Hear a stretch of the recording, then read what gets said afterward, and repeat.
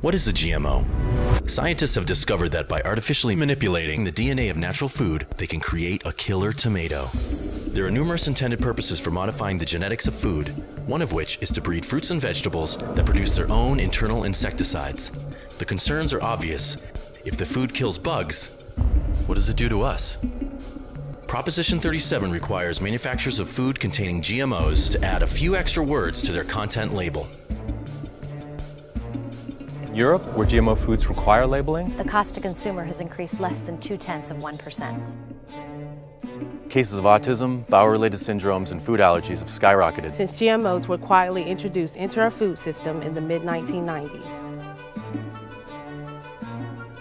The U.S. military sprayed an herbicide known as Agent Orange over the jungles of Vietnam. after its manufacturers declared it tested and safe. It was later determined that numerous people, including American veterans, were killed or maimed and countless children were born with birth defects. The same chemical company who manufactured Agent Orange is currently leading the production of GMOs. And spending millions of dollars to campaign against labeling. It may be years before we know the long term effects of genetically modified foods.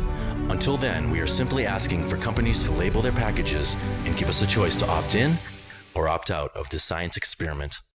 Already, over 50 countries have successfully implemented GMO labeling. The US remains one of the only industrialized nations yet to get with it. While we may not have the financial backing of the corporations, what we do have is the power of the people.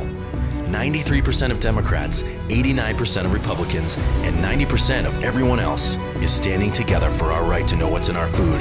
If you feel you have the right to know what's in your food, Here's what to do. Share this video. Share these facts.